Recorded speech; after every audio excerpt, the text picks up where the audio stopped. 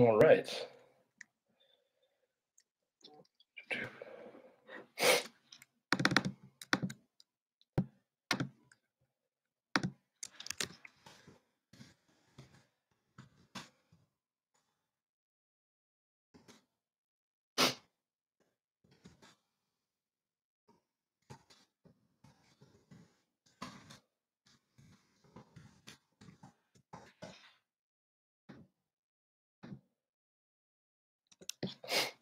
All right. That seems to be working there.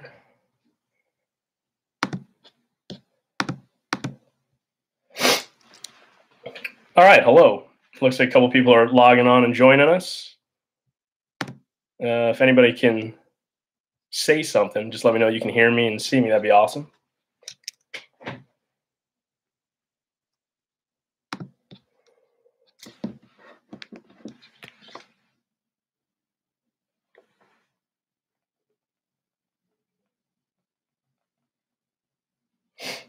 You're live. I can hear. You. Thank you, Gary. Thank you, Mark. All right. So uh, we are having a couple uh, couple technical dif- difficulties with that original link sent out. So uh, we just put that up in the chat. We're going to try to switch this over here. But um, like I said, we'll give it a little bit of time before we get things going and get involved. So, uh, in the meantime, uh, like I said, for those of you that are tuned in, again, first off, thank you very much for joining us. Uh, and secondly, thank you very much for the support over the last year.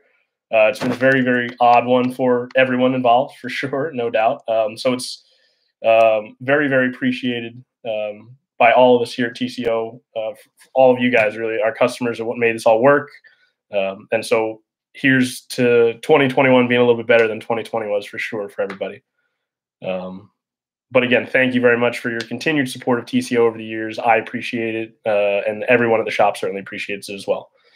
So, really, what we wanted to do today was, um, you know, obviously, we all love the Edison show. You know, Somerset Edison. Uh, I was, I've been super lucky. You know, I've worked for TCO for over a decade now, uh, so I've been bumbling around those shows for you know 10, 11, 12 years. Um, and it's been uh, a lot of fun. I've met a ton of great people, uh, customers, other folks from the industry, et cetera, et cetera, et cetera, over the years. So it's it's really been a lot of a lot of fun and really a special thing. But this year, unfortunately, we can't be together doing that stuff. We're not out there, uh, you know, checking out new products, saying hey to everybody, and uh, you know, drinking a bunch of beers. So we wanted to try to bring the show to you, obviously the customer. Um, a lot of people use the show as an opportunity to see new products, um, you know, talk about new rods hitting the market, new lines, reels, you know, flies, et cetera, et cetera, et cetera. So we wanted to create an opportunity here uh, where people can ask and we can talk about new product, uh, things that maybe you haven't been into the shop in a while, maybe you haven't,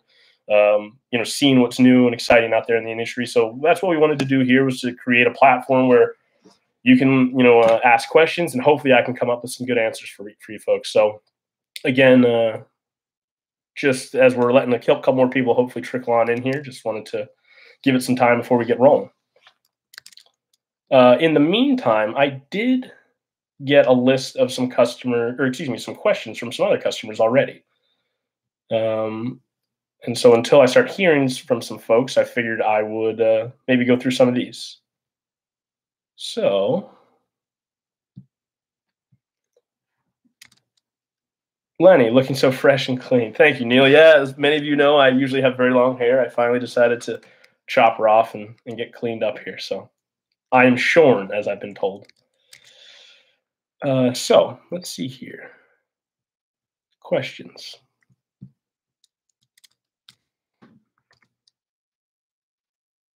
My computer decides to load. Uh, right.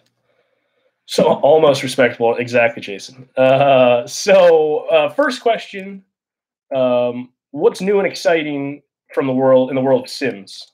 Uh, looks like Dave in Mount Union sent that in. So thank you very much, Dave. So there's a lot going on with Simms right now. Um, couple exciting new waders hitting the market. Uh, Simms is coming out with two new pieces this year. First and foremost is going to be the new Simms Guide Wader. Um, many of you may remember years ago, uh, Simms always ran a, a guide specific series Uh, and really, it was all about cut and about fit there. Um, so the guide waders and guide jack were on average cut a little roomier, uh, gave you a little bit more room to layer underneath, et cetera, et cetera, et cetera. So, um, you know, if you're a really big athletic guy, you know, maybe you've got really big legs, uh, thick calves, thick thighs. Sometimes G3s uh, or other Simms waders can be a little too tight in the legs for people. So the guide wader is a perfect example of, uh, you know, taking the same technology, same materials, the same Gore-Tex used in the G3 series and the G4, but bringing it uh, to a little bit different cut and a little bit lower price point. So that's going to be a really uh, nice new wader. Again, US made Gore-Tex wader coming out. So keep your eyes open for that guy. And the really exciting new wader uh, from Simms this year is going to be the flyweight wader. Uh, so it's going to be the lightest weight wader that Simms has ever made. Uh, it is a Gore-Tex wader built in the US, as always, um, for any of the Simms higher end stuff. But uh, it's unique in the sense that it has um, a couple new types of Gore-Tex laminates in it. So um, this time, Simms is actually trying a stretchy Gore-Tex. Uh, it's, a, it's a four-way stretch fabric. Uh, it's not going to be throughout the entire wader. It's primarily down in the crotch section of the wader, um, but it gives you a really, really nice bit of range of motion. Uh, ideally, we're looking to to get a little bit better durability out of them as well uh, with those pieces, uh, like I said, being able to move. Uh, absolutely, I am history. you can ask flyline questions, tippet rings, snaps, whatever you want to talk about. We're here. Uh, Bill Hars, good to see you, Bill. What's your uh, favorite all-around four-weight floating fly line? Um, a couple different choices out there. I think a lot of it has to do with what rod you're going to put it on. So a faster action rod versus a, a slower action rod. Um, the most popular lines we sell in the store, I would say the Scientific Anglers Infinity is certainly up there. We sell a lot of those guys. That's a half line size heavy. Um, so with a lot of faster rods, it'll load up a little bit more efficiently, a little bit easier, and then some kind of up close shots.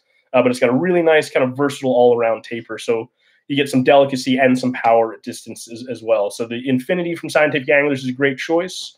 Uh, the standard Trout taper from Orvis is also a very nice choice. And I'd probably round that out with my third choice being the Rio Gold. Um, all of them are pretty similar. They'll have their slight differences here and there, but uh, all four of those are really, really strong choices. Again, to answer your question, Bill, a lot of it comes down to the individual rod.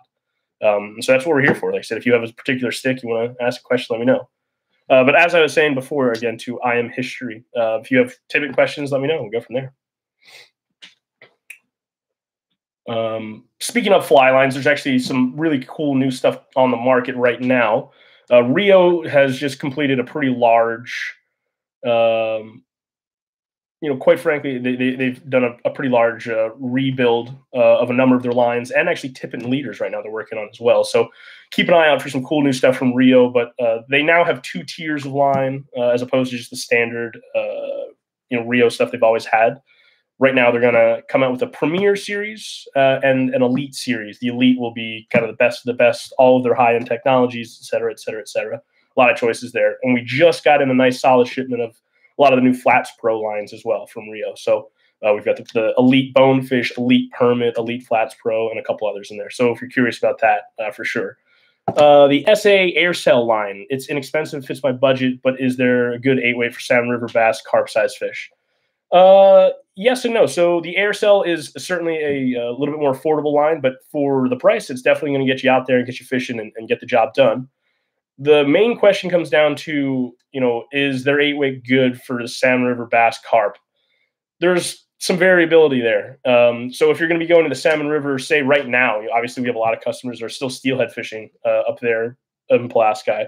If you're going to be fishing in super super cold water, you might want a different line if you're going to be than if you'd be fishing uh, in, in super warm weather. So typically speaking, fly lines are sold as either a cold water line or a warm water line for your bass and carp, you know, middle of the summer, 85 degree day, a warm water line might be a little bit better option. Um, and for again, steelheading or you know a little bit later season salmon stuff in Pulaski, again, you probably want a cold water line there. But you know, bang for your buck, uh, something that fits that budget. Absolutely, the Aircels are, uh, are, are quite quite decent for for what they are. No doubt about that.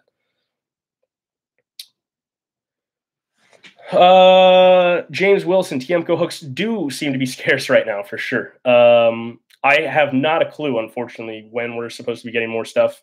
We have been getting inventory trickling in here and there, uh, so it really depends on exactly what you're looking for.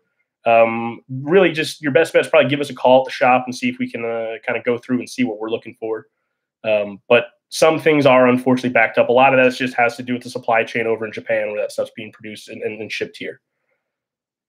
Uh, I'm history. Tippet snaps for easy fly changes. Absolutely. So Tippet snaps, uh, I completely agree. I don't use them uh, on any type of really, I would say, general trout flies. So nymphs, dry flies, wet flies, things of that nature. Um, I really think they kind of shine more so in that like six, uh, maybe down to a size eight on the smaller side.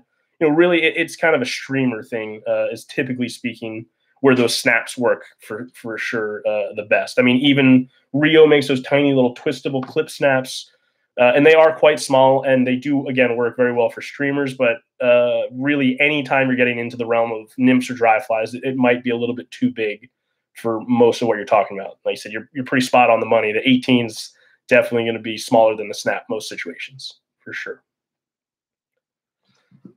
Let's see here. Any other questions for now? I guess I'll go back to. Let me go find my list of pre-made questions.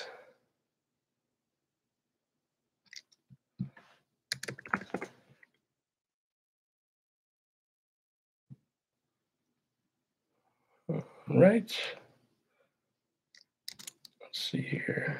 I'm trying some Allen hooks for egg patterns at the moment. Never tried that one before. Do you have an opinion on them? I don't.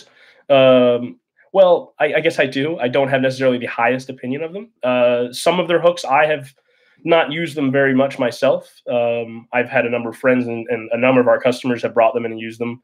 And I've heard some conflicting reports. Uh, some people seem to think that they're great, especially for the price. There's no question about that. They're quite affordable. Um, but at the same time, you know, I've I've heard of a couple suspect hooks breaking, hooks opening up, things like that. So generally speaking, my thinking when it comes to uh, most any type of equipment in fly fishing is, you know, it's a gear sport. There's a certain level of you get what you pay for, depending upon what what you're talking about. But um, the two places where I always, always, always try to convince people that you should not skimp is going to be your tippet and your hooks. Um, there's a lot of you know, I, I think there's a lot of different options out there where yes, you can save some money on a fly line like the Aircel, like we talked about. You can save some money on your rods, your reels, boots, waders, etc. But at the end of the day, the really the the most important thing that's connecting you to the, the the fish, obviously, is that hook and that tippet. So if you can find a little bit of room in your budget, you know, I would always recommend save money elsewhere and, and try to get some pretty quality stuff as far as hooks and as far as tippet. Uh, let's see what's happening with Loomis. I love my NRX and thinking of a new rod for smallmouth. Great question there, Jason. So uh, a lot of different options out there for sure. Loomis uh, has really, really been uh, been doing some great stuff in the last couple years. That you've seen a, a, major rebirth and regrowth in the brand. So really cool, really exciting stuff. Um, right now, primarily with Loomis, you're looking at uh, three different options as far as a smallmouth rod. Typically speaking, in our area, we're fishing a six, a seven, maybe an eight weight. Um, so you've got really, you're going to start with the G Loomis IMX Pro series. Uh, so it's a US built rod. They're going to come in just over 500 bucks. Uh, they make a number of different size options. Uh, and the cool thing about the IMX series is they are really built almost specifically to fish streamers uh, and poppers, the things that we're doing for bass. So they have a nine foot six weight. They have a nine and a half foot six weight. They'd be really nice for your smaller bass. That nine and a half, I, I love. I have that rod for wading. Um, and then when you start looking at uh, the little bit larger sizes, you'll have your nine nine foot seven uh, and a nine foot eight weight, and also they make a seven and an eight weight one piecer in that IMX series. So all really really strong options there. If you're looking to spend a little bit more money and, and get into you know proper premium sticks, the NRX as you mentioned there is the new NRX Plus is fantastic. Um, you'd be looking at the NRX Plus S. That's going to be the saltwater series again, built in the U.S., just really killer sticks. I, I actually just picked up uh, one. I'm supposed to be going to Cuba in a couple weeks here with clients, so um, looking forward to getting that thing out there. And then obviously you have the G Loomis Asquith. Um, that's going to be uh, offered in a six, a seven, and an eight. Uh, would be kind of your smallmouth sizes. I'd really look there at a seven, but uh, great thing about Loomis, they're making three different options, three different price points, all really, really solid, solid choices. Um, and like I said, there's a lot of, a lot of cool stuff on the market right now. So great question there, Jason. And uh, I said definitely uh, check them out. If you guys have not been into the shop, shop and seen any of the new uh, G Loomis stuff, definitely swing on by, give them a wiggle, give them a cast. It's uh, some really cool stuff on the market right now. All right, back to my other list here.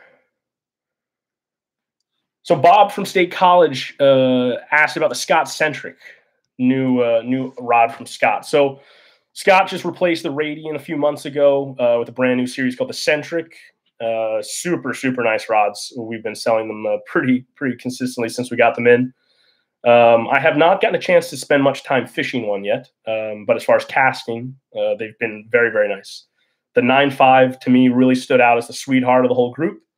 Um, really just a, a, a, pretty unique rod, very similar, I would say, to the Radiance. a little lighter in hand, a little bit faster. Um, but at the same time, you know, uh, like I said, it's it's an update on a, a, really solid classic, and I think that's one that again I would highly recommend you come on in and check them out. Aesthetically, they're very very good looking rods as well. They did a nice job with the dark grays and black on the rod, a little bit of red accents here and there. Uh, Nick Fox, Yo Lenny, can you comment on the best gloves or mittens for fishing in ultra cold climates? A uh, couple different options there, Nick. Um, Simms has a bunch of choices, as does Orvis have one new really, really nice choice right now. So for me personally, uh, I'm a big fan of uh, fold over mittens. So when you want, obviously, you can kind of fold them over uh, and treat it as a traditional mitten. And then when not in use, you can peel that back and you'll have half finger gloves across the rest. Uh, this year, Simms just released a brand new line of gloves. Unfortunately, due to COVID, they were backed up and we're just, we still haven't even seen them yet, unfortunately. But um, keep an eye out for those guys. It's going to be a whole new line of Gore Tex Windstopper. It's called Infinium.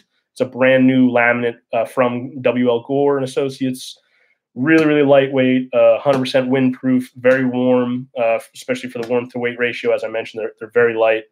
Uh, and the really, really interesting thing is that this laminate won't absorb water, at least not nearly to the extent of older windstopper fleece pieces. So, uh, really solid choice there, specifically if you're going to get things wet. Uh, like I said, I think to me that's the best of both worlds. Having one of those fold over mitts, uh, they just allow you the ability to tie your knots and you know have some dexterity and actually have the ability to do what you're looking to do uh, when you're out there on the water even in the cold. But when it's nasty you can pop those mittens over you know walking a to b et cetera et cetera. So the the new gloves from simms uh, in their gore-tex infinium windstopper series would be uh, a, certainly a really solid choice. And then the other choice uh, would be the new orvis pro gloves. So same deal they have a fold over mitt uh, they have one that has a primaloft insulation in it um, i've been wearing those for the last couple months. Maybe I got them maybe two or three months ago. So I have, I'd say maybe five, six, seven days on the water so far where I've actually worn them all day. But um, very, very good choice there. The one thing I will say about Orvis, they run a little big. So Simms, I wear large gloves and everything. Uh, Orvis, I would look at the medium and the pro. But those would be my two best kind of options uh, for ultra cold fishing. Again, the Orvis Pro foldover mitt with the Primaloft uh, insulation or the new Simms Gore-Tex Infinium Windstopper fold-over mitt. Uh, right.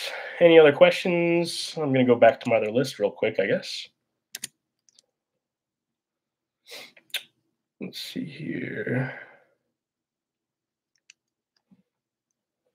So we got another question here.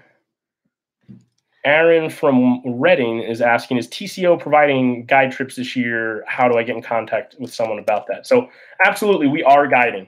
Um, it's been a super strange year, as I mentioned, for everyone.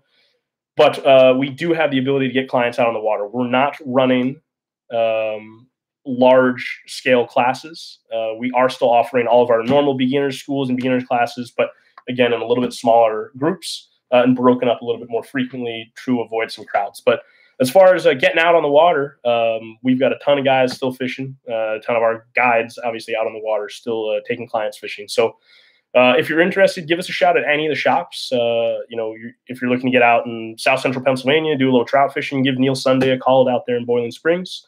Um, you know, you're looking for State College. There's a ton of really, really great fisheries up there, and a lot of really fishy guys working in the shop too. Um, so we are offering guide trips, and like I said, if you're curious or interested, you want to get out on the water, let us know. I'm more than happy to do that. But really, any of the shops will certainly be able to help you out with that. All right. Oh, and you're welcome, Nick. No problem. Thank you. Adam from Columbus, Ohio, had sent in a question asking about he's got a, a new uh, a new reel for tarpon. He's got a tarpon trip coming up. So, Adam, I'm jealous. That sounds like a lot of fun. Uh, a lot of different options in the market as far as tarpon reels. Um, first and foremost is going to be dependent upon the, the the size that you're talking about. So, tarpon come in a bunch of different sizes. Obviously, you can go catch little baby tarpon that are going to be six, eight, ten pounds. You can land them on an eight weight, no problem most of the time. Uh, on the flip side, you start looking at some fish pushing, you know, 150 plus pounds, then it's a very different program. My choices, I mean, tarpon, uh, they're a serious fish. That's not a place where, unfortunately, you, you can't really skimp uh, on a good tarpon reel. Um, my favorites right now in that realm, I would argue, would probably be the Waterworks Lamson Cobalt series. Uh, they make that in both a 10 and a 12 weight size. Um, and there's a number of options there as far as both you know uh, like I said size and uh, and and weight. If you're fishing like a 10 weight, you could probably put the 10 on there and be fine. And if you're fishing an 11, again, you can probably get away with a cobalt size 10. The 12 and above, uh, you definitely would want to jump into that cobalt. So that's uh, one of the reels I have. Certainly a big fan of that that guy there. Um, a lot of options from Hatch. Certainly, certainly really nice as well. You've got the nine plus or the 11 plus and with various size arbors, you can really load those things up. And if you're looking for something maybe a little bit more budget oriented, uh, the Hydro series from Orvis is not a bad choice by any means. Uh, as would be uh, maybe some of the little bit lower end Lamson pieces out there. So you'd have things like the the Guru, the Speedster, or the new Lightspeed. Actually, is also a very nice reel as well there too. So a bunch of different options for tarpon reels, um, but kind of depends on how specific. Uh, any new Costa frames for large heads? Yes, Jason, you do have a large head, and there are a number of new Costa options out there. So I actually just met with our Costa rep uh, two days ago and saw a number of new pieces uh, from Costa Del Mar sunglasses. So as uh, as you can see right here, I'm a huge, huge fan of Costa stuff. Own a number of pairs. Um, they make some of the lightest glass frames on average. They're you know 30% lighter than a lot of the competition. So most everybody uh, that we're dealing with in the stores usually ends up going with glass, and you'll have uh, at least a lot of different lens options there. However, uh, Costa is now releasing a brand new line of they're calling them the Pro series of uh, shades. So you'll have some updates as far as uh, the aesthetics and appearance of a lot of the really popular options like the black fin, the fantail, um, things like that. Uh, but there's also two XL options now, I believe, one in the Spearo and I think the other might be a Diego. I'd have to double check on there, but uh, yep, a lot of wide fit options, a lot of big head options, small head options. Uh, Costa's doing a really, really nice job with the, these new pieces, and I think they're going to be a, a, really, really nice addition to the lineup. So, if you're looking for shades, definitely again come on by, give us a call, check out all the stores. We all have a pretty solid selection of Costas, with hopefully more on the way. So, definitely some good choices there how about any other uh, rods we want to talk about? We've got a couple new options going to be hitting the market here real soon. We'll have the new uh, Winston Air 2 going to be released in the next few weeks. They're going to start shipping. Um, so that's a pretty uh, pretty interesting new stick from what I understand. I honestly have not gotten hands on one yet, so looking forward to that. Um, but I believe that's about the the, the main kind of upgrades or updates as far as uh, Winston goes. Sage, we've got a couple new rods just hit the shop actually today. Uh, the new Sonic series, it's going to be their mid $500 price point. So if you're looking to maybe upgrade or you're looking as kind of an extra quiver rod, you know, you already have your eight and your 10, maybe you want to throw a seven or a nine in the mix, something like that. That'd be a, again, a really good choice there as well. So definitely some new, uh, new sticks hitting the market right now. That's kind of fun, kind of cool. All right, let's go back to my list of questions. let's see, Jen from Montana had sent in an email about uh, waders for women. What waders are available for women on the market? Um, a lot.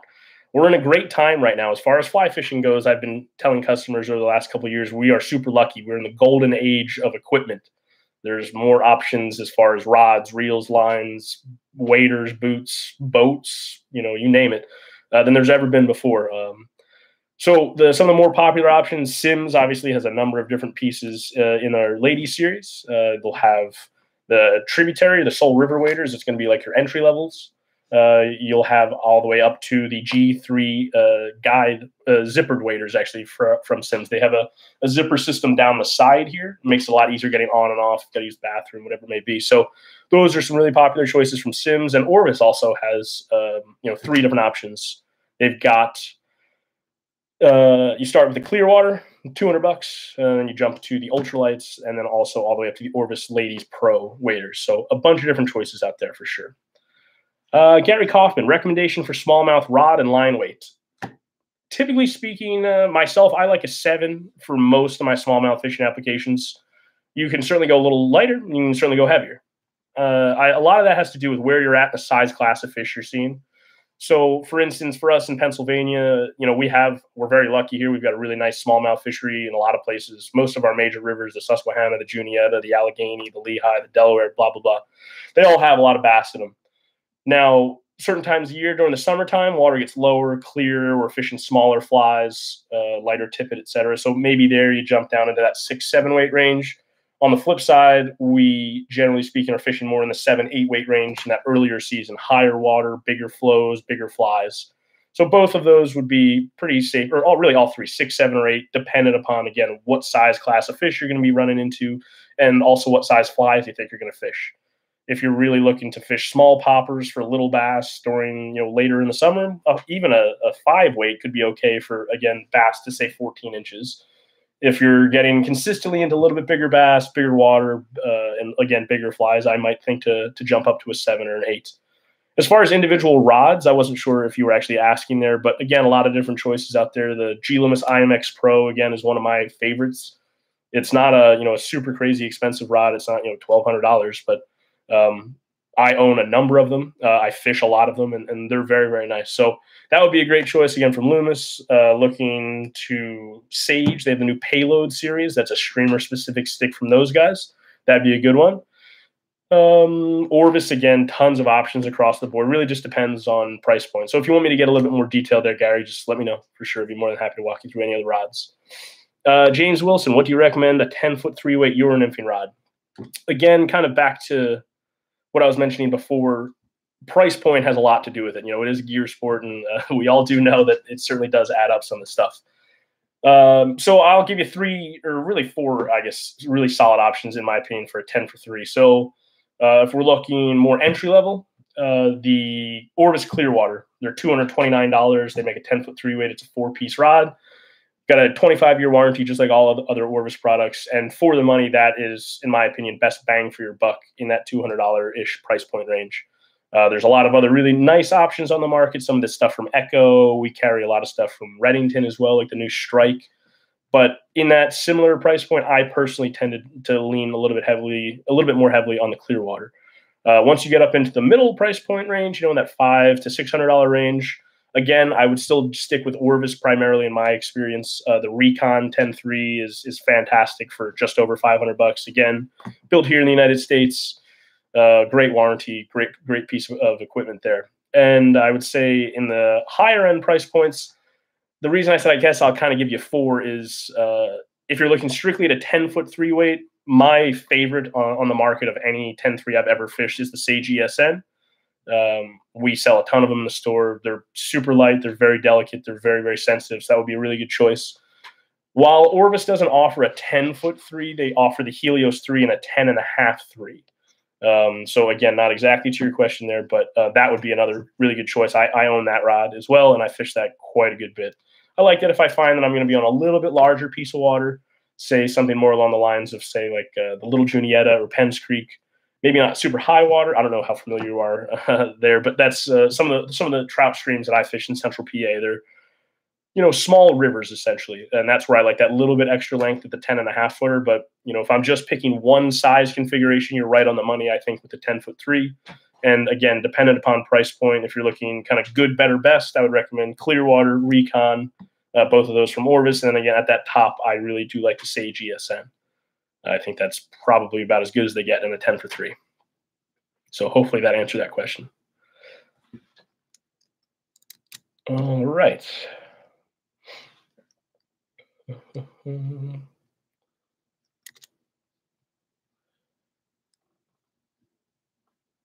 Uh, current spots. What rod and line would you recommend for streamer fishing local streams? I have a 10.5 Orvis Helios 2. Would that work? Absolutely. Um, if by local we're talking local to to you know central or kind of Pennsylvania, let's say for the sake of the argument, then absolutely, yeah, I fish a 10.5 a lot. Uh, again, as I've mentioned, I, I reference central Pennsylvania quite a good bit because uh, you know I went to school up there at Penn State. I, have spent a lot of time in the area fishing, so for me, I fish a 10.5 streamer fishing those creeks a lot. Um, couple different options for sure out there as far as individual rods, but um, the Helios 2 is a great stick, and that would be more than sufficient for, I'd say, probably 90 plus percent of the streamer fishing we rec- or that we kind of do around here. Now, as far as the line, that's where you start to run into some options. Uh, that has to do very specifically, I would argue, with kind of two factors. First and foremost would be uh, water flow, and secondly, my kind of second thing to, to think about would be uh, time of year and, and, and I guess really water temperature. So if the water is really cold, like we have right now, I mean, obviously we've got you know nights down in the teens in much of the state. There, I find myself fishing, you know, in those colder situations. On average, I prefer a floating line with a heavier fly. Um, so you can fish in varying lengths of leaders, but a weighted fly with an, you know a, a floating standard fly line to me tends to allow me the most versatility. I can make a cast and I can really pinpoint accurately where I want to be, what I'm going to be doing. Um, and I can just keep those flies in that strike zone a little bit longer with a floating line and that heavier fly. On the flip side, if you were to use, say, a sinking tip line and an unweighted or maybe lightly weighted fly, that certainly works very well on bigger pieces of water, bigger pools, deeper runs where you have the ability to make a long cast, to lay line on the water and actually fish the fly that way. Um, versus a lot of the creeks that I fish, you know, if I were to make that longer cast, a lot of times that water speed is so quick of the current that by the time my line is actually given a chance to sink, the flies are long past my intended target and, and destination. So it kind of depends. But for most of what we're talking, let's say for the sake of the argument, we're, we're fishing, you know, average size trout water in Pennsylvania, that 10-5 Helios 2 with a, a standard five weight floater on it, maybe a little bit more aggressive line like a, an Orvis power taper or a uh, like a Scientific Anglers MPX taper. Both of those would be good choices. Give you a little bit more mass to turn over those streamers, uh, and just afford you a whole lot of versatility. Again, sink tips have their time and their place, dependent upon you know exactly where you're fishing and how you intend to fish. Full sinking lines, unless you're in a boat or plan to be fishing from a, a moving boat much of the time, I don't recommend full sinking lines for wade anglers in, in our fisheries here, typically speaking. So, like I said, if that, you know, if you have any other questions, let me know. I'd be more than happy to follow up. Uh, I am history thoughts on these small boutique style rod companies like Moonshine Rods. It's a great question. Um, so I do not like them. I'm not a fan in the slightest for a variety of reasons. Um, I don't mean to be bashing any other products. They probably are are, are just fine, and um, you know they'll, they'll, work absolutely. There's no question about it. But in my experience, um, I've seen a couple things go wrong fairly consistently with those smaller boutique rod companies, like you said. Uh, first and foremost, so let's say you've spent five hundred dollars on your moonshine rod. I don't know if moonshine is going to be around in five years when you break that rod. I've seen it happen far too many times with custom rod builders or these again smaller boutique companies.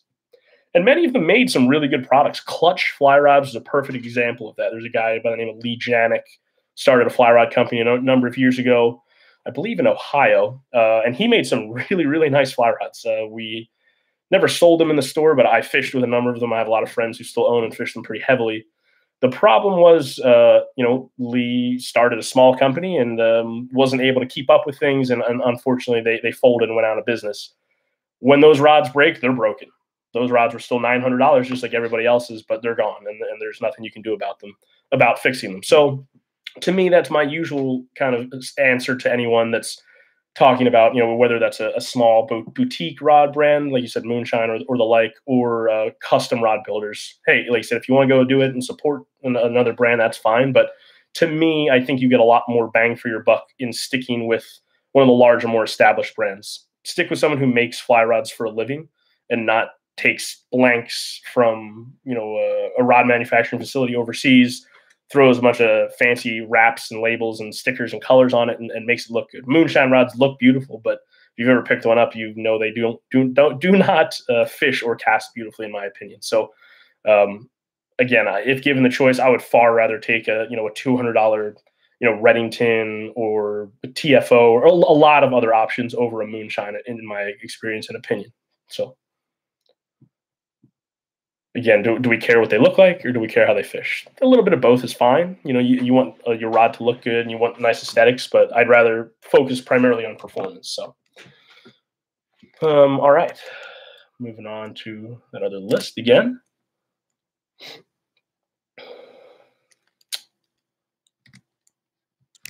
So, okay, here's a funny one. What was the biggest fish you ever caught? Or even better, okay, there you go. Neil Sunday. You tie with EP trigger point fibers? Absolutely, I would agree, Neil, for sure. Uh, so, for those who are not familiar, EP trigger point is a synthetic winging material, is the way it was kind of marketed originally, um, made by Enrico Puglisi, EP uh, Fly Fishing. And to Neil's point here, he says the more he uses them, the more he finds ways to, to tie with them. So again, parachute posts, wings, tailing, bodies, all kinds of things. So the interesting thing about um, that product is that it's offered in a ton of colors. So you have the ability to tie, say, you know, uh, you can get a, a light pale yellow uh, EP trigger point fiber and just tie in uh, two or three or four strands of that and literally wrap that uh, these long individual strands together to create your body. Uh, it looks cool. It looks different than dubbing, which is also you know in and of itself enough reason to use it. But uh, it floats very well. Uh, trigger point is treated with a hydrophobic coating before it leaves the factory, so it, it floats very very well. It holds no water whatsoever, and it dries almost instantly. So to Neil's point, yeah, that's an absolutely uh, great little product out there. It's being made in more and more colors, it seems, every year. And um, it, has been really good for everybody uh, that's been using it, both customers and employees in the shop. So, yeah, it's great stuff and definitely a, a really, really unique little material. And using it in combination with other things too, Neil. That's something that you didn't necessarily mention. I love to do a lot of stuff where I'll use trigger point maybe underneath a CDC wing or over top of or mixed in with a deer hair wing. There's a, there's a lot you can do there. It gives it a, a cool look, gives you a little bit better visual cue to see it as well. So a, lo- a lot that can can be done there. It's definitely pretty neat. Um, all right. So, like you said, uh, someone asked a question: "What's the biggest fish you've ever caught, and how'd you catch it?" The biggest fish I ever landed it was a shark. Uh, I went out uh, with a, a, friend years and years, a year ago. His father had a, a boat. We were chunking uh, and caught a big, gigantic blue shark a number of years ago. So definitely a pretty, pretty unique experience. It was a lot of fun, but uh, not as cool as saying I caught some big, you know, billfish on a fly rod in Guatemala or Costa Rica. But definitely uh, still a good memory.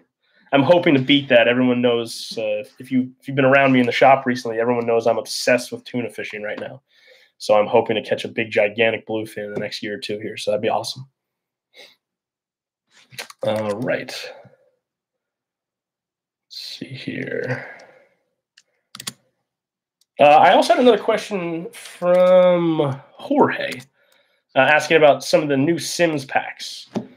So for me, uh, packs are great. I will be honest. I am an old school guy. I love vests. I still wear a vest, uh, just like uh, my dad and my grandfather and people before me as well. So um, I wear a Simms G3 guide vest. I've tried just about every vest option on the market. I feel like uh, Patagonia, Fishpond, Simms over the years.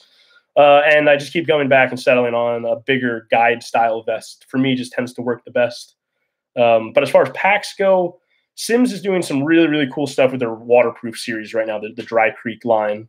Um, they've updated their zipper if no one has seen it. Obviously, when the TIZIPs, you know, the big heavy, like they have on the Yeti cooler zippers, first came out, uh, and they were fantastic. We sold a lot of those packs, but if anyone's ever used them, you know they're pretty hard to get in and out of, relatively speaking. It's you got to pull really hard on that zipper to unseat it. Have to pull really hard on the zipper to seat it back again and keep it waterproof. So Simms is using a brand new zipper uh, technology this year, where it's essentially imagine like the most heavy duty Ziploc bag connection you've ever used in your life. Uh, and it's great because there's no real chance of it failing as far as uh, the teeth getting broken or bent or, or moved. Um, if you do have a, a, track failure where the zipper does separate and pop itself off, it's very easy. You just run the zipper all the way down and all the way back, and it'll reset itself. Um, so in the let's say they've been on the market for probably eight or ten months now. Um, knock wood, have not seen anything come back, uh, and everybody we've sold them to seems to be really, really happy and thrilled with those. So that's definitely something to check out if you're in the, the market for a new pack. I really, really am liking a lot of the, the waterproof stuff Sim's doing right now.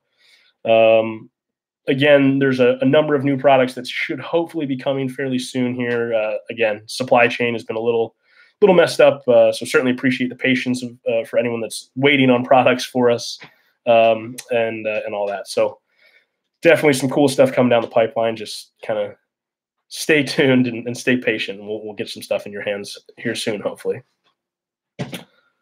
All right. Let's see what else. Uh, the last question I had someone sent in beforehand looks like uh, just talking about uh, dry fly hackle. So that's a common question we get in the store is, you know, hey, I want to get, I'm, I'm new to tying. I want to get involved in tying some dries. So let's get the elephant in the room out of the way. Hackle is expensive. There's no two ways about it. There is no shortcuts. It's just an expensive product. Uh, it's pretty unique. Uh, obviously, genetically modified chicken feathers are not something that we see a ton of all the time. So it's uh, you know high demand, low supply, uh, and a lot of people looking for them. So Hackle, you know, a lot of different brands out there. I personally love Whiting stuff, uh, and I like Metz stuff in my opinion, Whiting has the most consistent feathers. They're also the most expensive. You are going to pay for it. Um, but lots of different sizes, options, you know, whether you're talking capes, saddles. Um, just for anyone who's not familiar, the difference between a cape and a saddle is the cape is the front part of the chicken. So it starts up here in the neck and works its way down to the front of the rooster. The saddle is the rear portion of the bird. The capes will give you more variety in size. So up at the top by the neck, they'll be really, really tiny. You might have flies or feathers small enough to tie a 28 or a 30. And down the bottom, you're going to get into your big stuff where you'll get out of dry fly ranges up into, you know, a four, a two, just real big, wide, webby ha- uh, hackle feathers at the bottom. So if you're thinking about making your first investment into hackle, I would highly recommend you look into a cape. Uh, like I said, you'll have tons of feathers and a lot of size variety. Now, if you're a seasoned dry fly tyer and you have been, you know, you've been accumulating capes all the time, uh, maybe it's time to start thinking about some saddles. So the trade-off between a cape and a saddle, they're again, saddles are usually even more so expensive than a cape, uh, but for two reasons: they give you on average far more usable feather uh, and a lot, a lot more uh, consistency in sizing. But while that sounds good, it also is far more limiting. Uh, so while you have a huge size range, like I said, from the biggest dry flies that are made to the smallest dry flies that are made on a cape, on a saddle, it's a much smaller range. So you might have the same enough feathers to tie a 10, a 12, a 14, and a 16, or maybe even a, just a 12, a 14, and a 16, or, or, or, you know somewhere in that range. It's usually only three or four sizes. So if you are uh, a die-hard midge fisherman and you love fishing tiny, tiny little dries, you can get a midge saddle where you know every feather is going to be really small. It's going to be your 18s, 20s, 22s, etc., where you can run through the same thing over and over. On the flip side, again, going back to a cape, you'll find that you'll get a lot more variety there. So uh, hackle is just, it's a little expensive, like I said. It is an investment for sure, and it can be a little bit overwhelming and intimidating at first. So whenever you're thinking about making an investment or, and trying to get involved, uh, just let us know. Like I said, more than happy to walk you through whether that's in person or over the phone or whatever it may be. Uh, gladly, uh, we're all here to help and point you in the right direction. So that's you know a rough little lesson on hackle. Gary Kaufman, uh, do you use strike indicators, and if so, what do you recommend? Absolutely, I use strike indicators. Absolutely. So. Um, back to I guess another question. We've had a, a couple people talking about Euro rods, uh, and obviously that is the hip hot new thing in fly fishing right now. European nymphing uh, is fantastic. There is a time and a place where it is by far the single most effective way to catch fish, um, but it is not the silver bullet. Everyone thinks, oh well, I read George Daniel's new book or I read Dom Swentosky's new article on Troutbitten. I have to tight line and I have to get my ten foot three weight. Uh, as someone who almost exclusively tightline nymphs, I'm not saying not to do that. I'm not saying not to to learn and to to try new stuff. But don't get pigeonholed in the fact that you have to tightline. There are times and places where strike indicators are not only useful, but in my opinion, they're almost a necessity. Uh, you will catch more fish in certain places, certain situations, using an, in, an indicator versus not. Um, so, do I use strike indicators? Like I said, absolutely. What type do I recommend? here comes the annoying part. There's a big but and if in everything uh, in fly fishing. So there are some choices that are great for certain situations and terrible for others. Um, in theory, most of the time, I carry around three different indicator styles on my person when I'm fishing. First and foremost is going to be an airlock. Um, so a lot of people have, you know, probably at this point messed around with the new airlock style indicators. That was an update to the thingamabobbers of years ago. So airlocks have a small channel in them with a little nut and washer on top of the essentially just a little foam ball. You'll unscrew that little washer. You now have a little groove like this. You lay your leader in there and you screw the washer back down on top and it locks it into place. You can then adjust that. You loosen that washer, you slide it up and slide it down, up and down your leader very easily, kink it or lock it back into place. It will not kink your leader the same way that thingamabobbers do. So I love airlocks. I always carry them in two sizes. Um, 99% of the time, if I'm trout fishing, I'm going to use the half inch size the smallest one that they offer. Um, the Sometimes I will jump up to the three quarter inch, but that's pretty limited. That's usually big flies and big water. So again, maybe I'm fishing the Lehigh River up in the Poconos with big stonefly patterns in the springtime, or maybe it's uh, again, you know, late spring on Penns Creek. We've got a bunch of rain and I need to use a little bit more weight to get down. I might switch over to that three quarter inch, but airlocks are definitely one style that I always carry with me. The second style that I always carry with me would be uh, the New Zealand strike indicator system. So it's essentially a yarn or wool style indicator. There's a lot of different ways to do it. You know, Pat Dorsey has been doing it for years with polypro macrame yarn and a little, you know, orthodontist band. You can throw that on there. That works very well. The New Zealand kit is a, about the same. It's a similar system, utilizes a, a small piece of surgical tubing to essentially lock various sizes and amounts of yarn, or in that case, it's actually wool, uh, onto the leader it's a little hard to kind of describe this way. So if anyone that's listening isn't familiar, you're curious, uh, just type in New Zealand strike indicator system. There should be a number of uh, videos and, and, things online where you can see. But the thing I love about the New Zealand system, I guess there's really two things. First and foremost, it's incredibly sensitive. Uh, you can watch it, you know, that indicator will literally just tw- tick and, and move its way down the creek as it touches ever so slightly. You know, your flies are ticking a rock or something. So it's really, really, really sensitive. So I love that. Uh, secondly, uh, it lands incredibly soft. So where do I make that differentiation going from a small airlock to a, a, yarn or wool style indicator? That again has to do primarily with conditions. So if I'm fishing a small piece of water, let's say we're talking about like Valley Creek right here, uh, you know, 20 minutes from my house. Uh, if I'm fishing valley on average, I'm almost never going to use an airlock style indicator. Even in higher flows, the creek's pretty small, the fish are pretty pressured, and they're pretty spooky. So I found that something that lands a little softer on average will uh, be a little bit more effective for you. So the uh, you know, like I said, on lower water conditions, smaller flies, smaller fish, smaller amounts of weight needed to get you down to where you need to be uh, again, yarn, wool, that New Zealand style indicator system is great. Once you start getting into bigger water, deeper water, faster water for sure, then you can start switching back over to that airlock uh, style indicator. Uh, and then the last one I consistently use a fair bit is the pinch on style indicator. So it's essentially imagine a foam sticker with adhesive on the back of it, and you literally just pinch them together, you know, gluing your line in the middle of those two pieces of adhesive. They work really, really well, uh, just like the yarn. They land very soft. They're very, very sensitive. But I don't like them as much for two main reasons. First and foremost, you can't move them. So once they're on your leader, they're stuck in place. So if I know that I have 100 yards of water, me, of water in front of me where I'm not going to change my indicator very much, they're just fine. But if I know that, well, this run I need to be here, this run I need to adjust to here, this run I need to adjust to here as I'm working my way up, that means that I'm constantly having to rip off that little foam indicator, throw it in the bottom of my waders in my little pocket, put a new one on. So it's wasteful. Uh, so I don't love the one-time use uh, aspect of it, and the fact that I can't change it and move it is a little bit more frustrating. But I usually keep at least a pack of them in there. There's a time and a place for them uh, as well. So when it comes to indicators, like I said, the main three things to think about: match the size of your indicator to the conditions you're seeing. So if you're dealing with low clear water very small flies, a small amount of weight, use the smallest indicator you possibly can. On the flip side, you're dealing with high water, dirtier water conditions, you need more weight, et cetera, et cetera.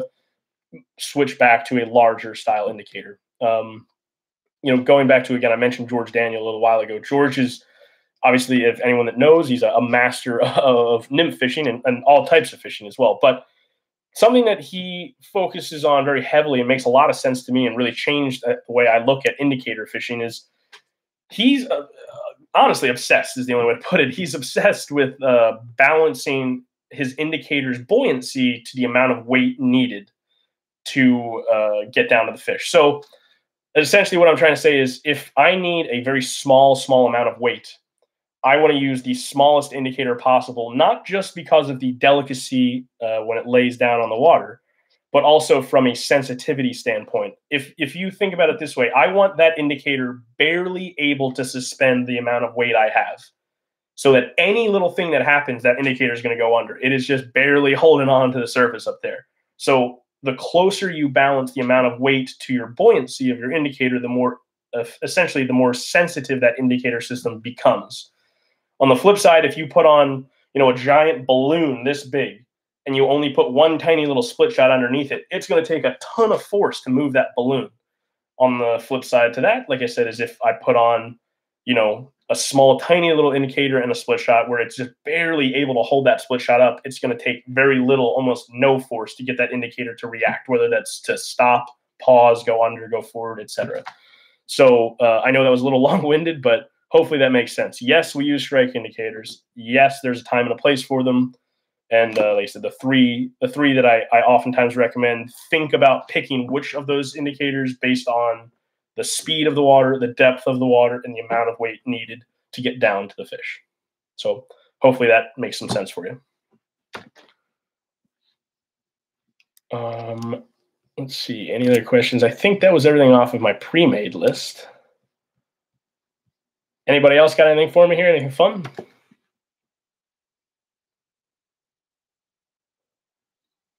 Well, in the meantime, I guess we'll, uh, you know, we'll we'll just talk a little bit about what's going on in the stores. So, as I mentioned in the beginning, uh, for any of you who were maybe not here when I first started, uh, again, thank you very much for tuning in here tonight, and thank you very much, obviously, for uh, your support of the shop over the years, specifically over this past year. Uh, it's been a weird one. It's been a challenging one for everyone. So, certainly, again, it's very, very much so appreciated. Thank you. Um, the other thing is uh, inventory. I guess I'll, I'll, make another note on that. It's been pretty challenging to get some stuff. Uh, it's a great thing in the long run for the fishing industry and for the fishing kind of world uh, at large. There's a ton of new people involved in the sport, a ton of people wanting to get outside and have fun with it.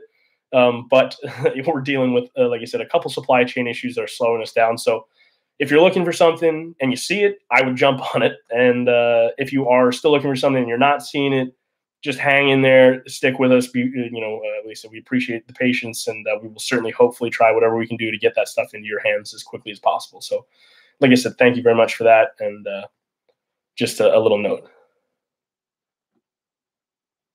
You should like that a lot, Gary. That New Zealand system is very, very useful. Uh, like I said, it takes a little bit of kind of tinkering to get used to it first, but generally speaking, once you get the hang of that, it's a really, really effective tool.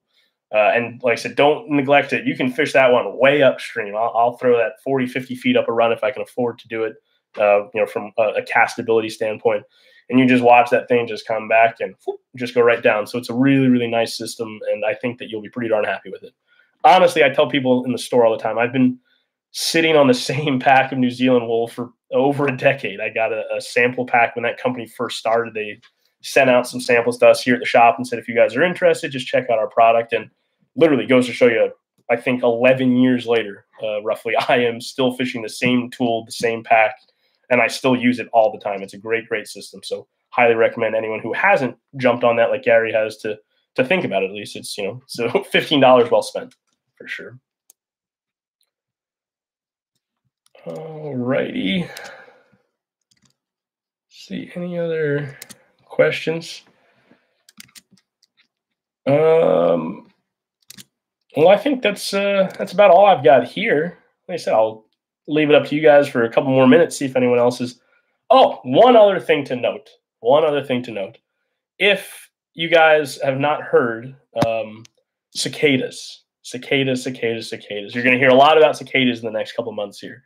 So um, this year uh, we have the Brood X event. So obviously, for those of you who do not know, we have both you know, standard every year, good old fashioned normal cicadas that hatch, and we hear them and we see them all over, you know, uh, when we're out fishing and see them in the yard, etc. every 17 years we have what's called a periodical cicada hatch. So every 17 years we have a mass emergence of these bugs. Um, if you're curious about learning about any of that stuff, just type in uh, brood X cicadas. X meaning like Roman numeral 10. Um, the broods are broken down. You'll see some really cool maps online, uh, and there's going to be a lot of info coming out from us and from others uh, on this as, as as to how it pertains to fishing. So keep an eye out for that stuff. Um, but we're going to see a ton of that stuff in the southeastern and south central part portion of the state. Uh, it's going to swing up along the Susquehanna and the Juniata rivers. So we're going to have some really cool smallmouth fishing. Uh, again, a once in a 17 year cycle kind of kind of fishery. So definitely uh, get to tying, stock up on your foam, stock up on your rubber legs, and uh, like I said, know that we'll have hopefully a whole bunch of cicadas coming. If you've never fished a cicada hatch, you, have got to see it one time. It's a really cool kind of you know Nat Geo type event where there are a lot of bugs around and everything eats them: birds, squirrels, chipmunks, fish, deer, you name it. If it's walking around outside, it's going to try to eat these things. They just know that there's a ton of food and a ton of protein available to them. So I think uh, this year could be a really interesting year. We've been talking in the shop about it's going to be the year of the terrestrial between lantern flies, between periodical cicadas, uh, and between our typical ants, beetles, crickets, hoppers. I think this uh, late spring and early summer is going to be a really good kind of terrestrial trout fishing season for us, and uh, hopefully also give us some uh, some good opportunities to get into some really cool warm water fisheries this summer, carp, bass, et cetera, et cetera. So Brood X, cicadas, do a little reading, do a little research, reach out to us directly at the shops, uh, all four stores. We're we're all going to see it to some certain extent. Really, Reading, Boiling Springs, and down here uh, in in the mainline area, or we're going to see it a little bit heavier than they are up in State College. But uh, again, a lot of a lot of cool stuff to look forward to uh, for the summertime. Another another reason to look forward to warm weather after the, the this weekend of weather we're about to have here. So. I I agree, Aaron. Uh, catching carp on foam cicadas is some of the best fun you'll ever have with fly rod. It's uh, it was one of those things I did not think I was going to be a big fan of carp fishing until they start exploding things on the surface like that. It's a really, really cool fishery. Um, and the last go around, I got to be honest, I was I was pretty darn young. I didn't really know what I was doing 17 years ago, nearly the extent I do now. So really looking forward to getting out there and uh, getting after it pretty heavily. So definitely a, a, great point. Like I said, carp is a an underrated species to target in general in some ways, and definitely when you start looking at the cicada program, they really like them. So that's, that's a great point. Uh, see here.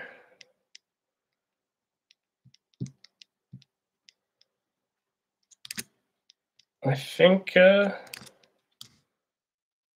I think that's about all I have here, folks. So, like you said, I'll uh, leave it open for a few more minutes here and see if anyone else has anything they'd like to ask or add or chime in. But again, uh, I said thanks for tuning in, folks. And uh, while we can't be, you know, like I said, running around the the, the fly fishing shows this year, uh, hopefully this was at least, uh, you know, a little bit of a reprieve from the Groundhog Day we've been having here.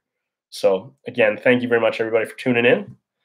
And uh, again, appreciate all the support over the years, myself uh, and the entire entire company. Uh, there you go. Neil's got the carp spot. And thank you very much, Gary, for the, the questions. Thank you for participating, folks. Uh, like I said, hopefully, if this was enjoyable for you guys, let us know, please. Uh, leave a comment, like, subscribe, etc., etc. Um, but you know, shoot us an email, shoot myself an email, just Lenny L E N N Y at tcoflyfishing.com if anyone has any questions.